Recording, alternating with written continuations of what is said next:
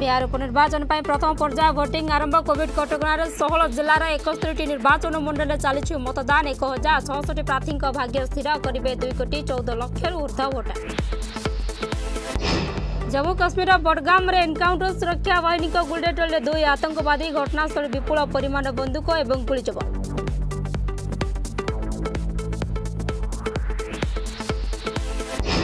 ଆଜି ବିଦାୟ ନେବ। ମୌସୁମୀ ଏଥର ଚାରି ପ୍ରତିଶତ ଅଧିକ ବର୍ଷିଲା ପ୍ରଭାବରେ ପାଞ୍ଚ ଦିନ ଶୁଖିଲା ରହିବ ପାଗ। ରାତିରେ କମ୍ ରହିବ ତାପମାତ୍ରା। ଟ୍ୱିନ୍ ସିଟିରେ ମେଘୁଆ ରହିବ ଆକାଶ। ସୂଚନା ଦେଲା ପାଣିପାଗ ବିଭାଗ।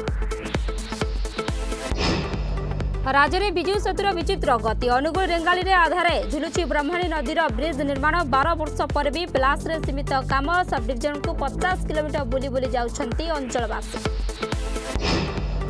ଚୀନ ହେବ ସାବାଡ଼ ଶତ୍ରୁ ଦେଶରେ ସର୍ଜିକାଲ ଷ୍ଟ୍ରାଇକ୍ ହେବ ସହଜ। ଭାରତ ଆମେରିକା ମଧ୍ୟରେ ଟୁ ପ୍ଲସ୍ ଟୁ ବୈଠକ ପରେ ବି ସେ ଚୁକ୍ତିକୁ ମୋ ଜିଓ ସ୍ପେଶାଲ ଇଣ୍ଟେଲିଜେନ୍ସର ଫାଇଦା ନେବ ଭାରତ।